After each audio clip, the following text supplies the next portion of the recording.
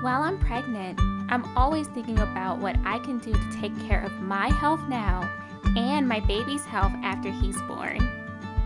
That's why during my pregnancy, I'm getting all the vaccines my OBGYN recommends. I trust my OBGYN and make sure to get the vaccines she recommends to keep my baby safe before he's old enough to get his own vaccines. I know vaccines are safe to get during pregnancy and help protect me. But more importantly, the vaccines will help protect my baby after he's born.